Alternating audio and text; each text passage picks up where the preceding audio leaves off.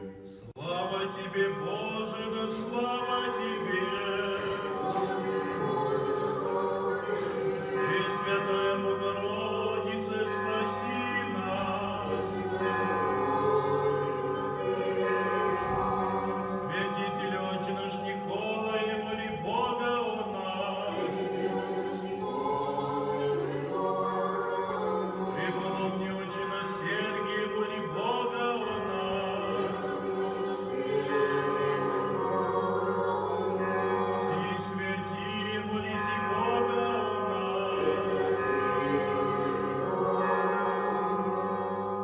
Во имя Отца и Сына и Святого Духа.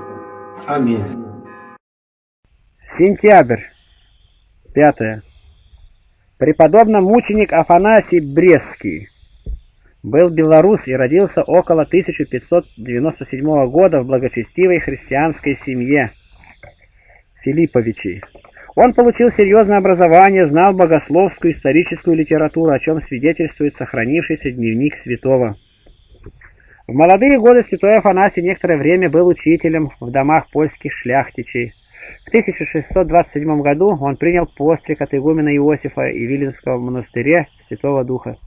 В 1632 году инок Афанасий был рукоположен во иеромонаха и назначен наместником Дубойской, Дубовской обители под Пинском.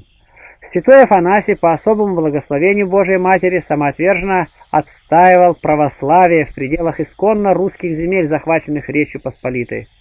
С 1638 по 1648 год святой Афанасий исполнял послушание игумена Брестского, Симеоновского монастыря.